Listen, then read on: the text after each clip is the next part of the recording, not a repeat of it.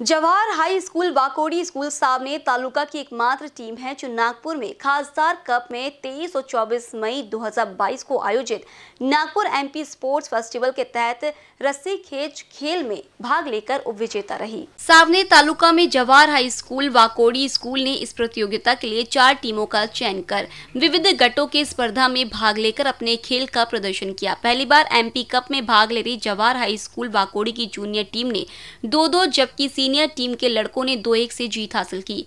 18 वर्षीय लड़कियों के कोच योगेश लोहाकारे 19 वर्षीय लड़कों के जूनियर टीम के कोच मोहतकर और टीम के सीनियर लड़कों के कोच कुमार आशीष खोरगड़ी की मदद से जीत सुनिश्चित हुई।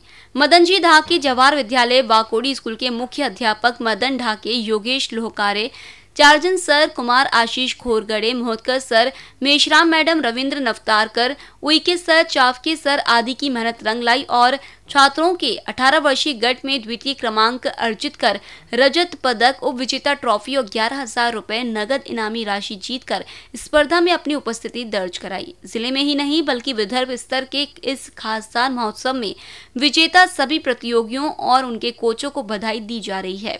सामनेर से एनबीसीएन न्यूज़ के लिए संवाददाता किशोर ढूंढेली की रिपोर्ट।